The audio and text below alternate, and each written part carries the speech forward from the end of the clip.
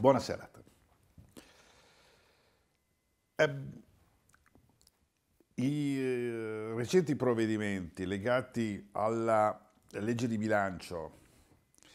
alle modifiche intervenute a livello legislativo in materia fiscale, in materia di eh, interventi sulla gestione della finanziaria di fine anno, hanno prodotto una serie di novità su quali eh, molta confusione si è determinata.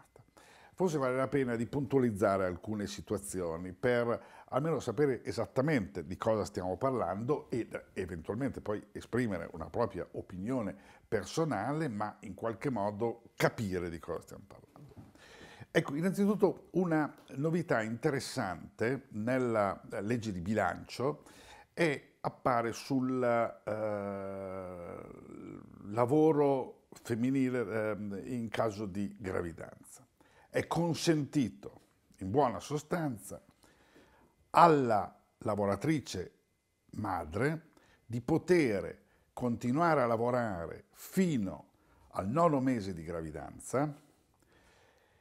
e utilizzare quindi il periodo di astensione obbligatoria, che sarebbe obbligatorio dei due mesi prima del parto, dopo la nascita del bambino. Questa è la novità. Facciamo un passo indietro, perché se no rischiamo di non capirci. Qual è la norma? Cosa dice la disposizione? Allora, la disposizione dice che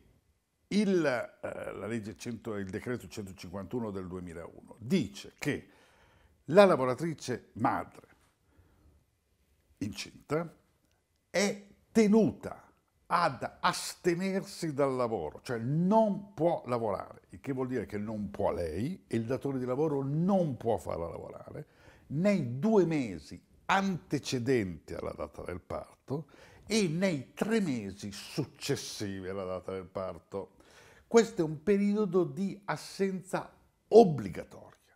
Dopo esistono i periodi di assenza facoltativa, di astensione facoltativa, ma i cinque mesi sono un'astensione obbligatoria che la legge impone alla madre e al datore di lavoro nell'interesse collettivo alla salute anche nell'interesse del bambino appena nato.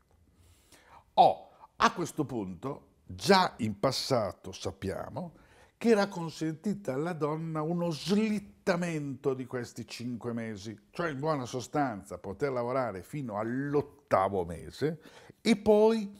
eh, recuperare questo mese dopo il parto, quindi avere un mese quattro. Oggi la possibilità è ulteriormente consentita e cioè la donna ha la possibilità di chiedere, di scegliere, di lavorare fino al nono mese, quindi fino a ridosso della, eh, della nascita, e poter poi eh, utilizzare i cinque mesi a questo punto di astensione dopo la nascita del figlio. Attenzione, attenzione, è una scelta della donna, non è assolutamente imposto, obbligato la donna a fare questa scelta. In qualche modo risponde anche ad alcune esigenze che avevano manifestato le famiglie, le donne, nel senso che molte signore come dire, stanno bene in periodo di gravidanza fino al termine ed è la nascita poi del bambino e l'organizzazione di vita personale di famiglia che viene eh, coinvolta in maniera eh, totale dopo la nascita di un figlio e quindi la possibilità di poter organizzare meglio un mese in più, in due mesi in più perché diventano cinque mesi dopo la nascita, può diventare un tempo che comincia a avere, come dire, una sua un suo contenuto e una sua dimensione significativa. Ma non è sufficiente, non è sufficiente la decisione, la volontà della donna. La legge esplicitamente dice che in un interesse di tutela anche della salute e del, eh, dire, del, dell'interesse del, del, del, bambino appena nato, la scelta da parte, l'autorizzazione a lavorare fino al termine della gravidanza è un'autorizzazione che deve essere approvata ed è subordinata ad una valutazione medica da parte degli organismi sanitari della unità sanitaria locale e da parte del medico cosiddetto competente, cioè del medico aziendale, in cui venga fatta una valutazione in relazione alla condizione fisica della donna, ma in relazione anche, e questo è il riferimento al medico competente, a quelle che sono l'organizzazione del lavoro, le condizioni di lavoro, l'ambiente di lavoro, che un proseguimento di un'attività lavorativa fino al nono mese non possa diventare un elemento di pregiudizio per la salute della donna e per la salute del minore. Quindi attenzione, non c'è assolutamente un meccanismo di obbligo delle donne di andare a lavorare fino al nono mese o ci fanno lavorare fino al nono mese. È, eh, come dire, riconosciuto un diritto di possibilità della donna di poter chiedere, questa, di, eh, di, di, di, chiedere di ottenere questa cosa, purché questa scelta non diventi di pregiudizio alla salute personale del bambino, subordinato in questo caso quindi a una valutazione di tipo medico-legale, medico da parte degli organismi sanitari. Colgo l'occasione della valutazione eh, di queste informazioni sul eh, divieto di addivizione del lavoro delle donne in gravidanza per segnalare un'altra novità eh, della, della, legge di bilancio e che personalmente ritengo di una qualche perplessità.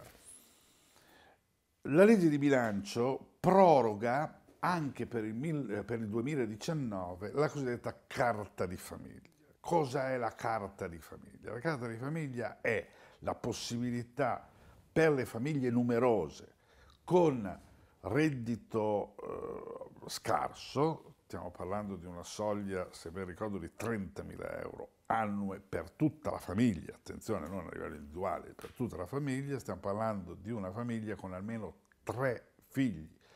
Al di sotto dei 26 anni, tutti non senza reddito. E quindi situazioni di famiglie in, situa- in condizioni oggettivamente di una qualche difficoltà e quindi la possibilità di chiedere e di ottenere questa carta famiglia che è un meccanismo di possibilità non tanto di avere dei soldi, ma di possibilità di avere degli sconti presso una serie di eh, esercizi commerciali convenzionati e quindi la possibilità di acquistare beni, da, da beni alimentari ad altri beni di consumo, ma anche la possibilità di utilizzare questa carta per pagare la bollette, per pagare eh, i conti del condominio e via discorrendo. Ebbene, questa